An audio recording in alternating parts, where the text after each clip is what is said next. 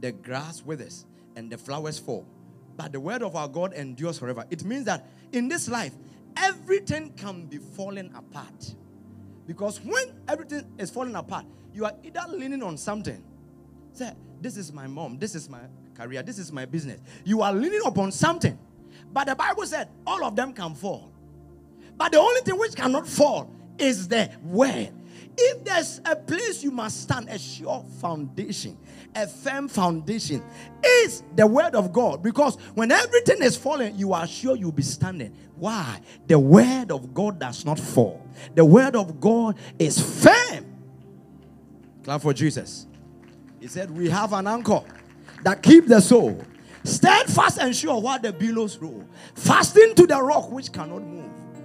Make sure that your, your stand is upon the word. And I told you the other day that Peter was walking on water, not on water, he was walking on God's word. Jesus said, Come. That word come became a board, and Peter would say, Come. And he jumped and stepped on come. When he missed the step and he didn't step on come, he started sinking. The only time you sink is when you are walking not on the way. But as long as you walk on the way, come what may, the storms of life will hit you left and right. But the word of God gives you assurance.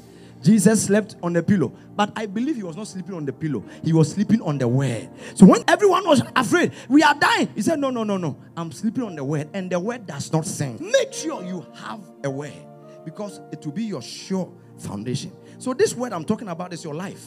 It determines the ambits of your life. It cannot be bound. It could create your world for you, and you can depend on it.